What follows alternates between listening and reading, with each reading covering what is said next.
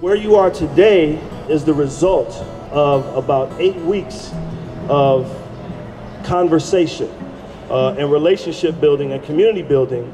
Our participants performing with Street Symphony through Music for Change. I believe that this is the most important work that Street Symphony gets to do in this community.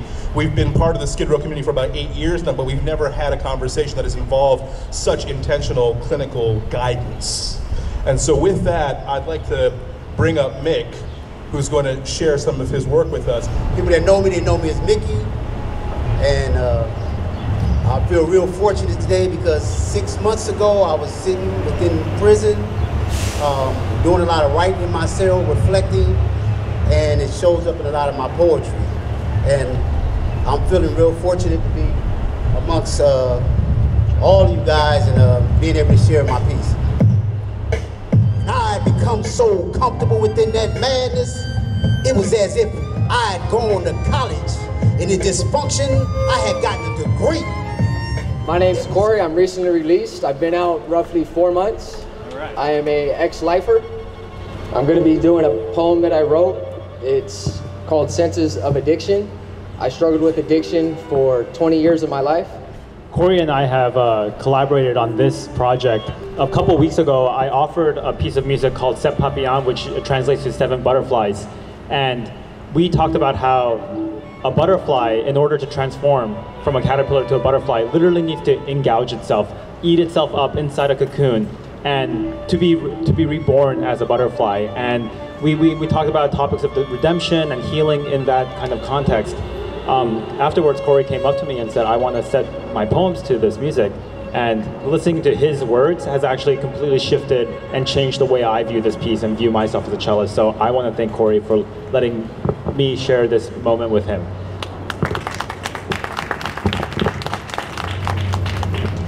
It's the scent of vinegar only I can smell. I can see my reflection in the steel. With each cut, the pain seeps away.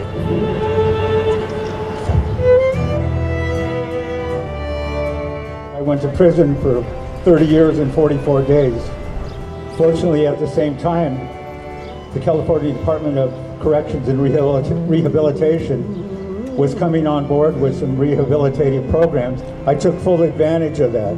As I, as I say, a light came on for me and I followed that light. And down the Via Dolorosa in Jerusalem that day. And down the Via Dolorosa called the way of suffering like a lamb came the Messiah. Someone else agrees or disagrees, that really does not concern me. Because this ain't about no one else. It's about me setting my own mind, heart, body free. And though I've used other unhealthy methods in the past, today I just choose to use poetry.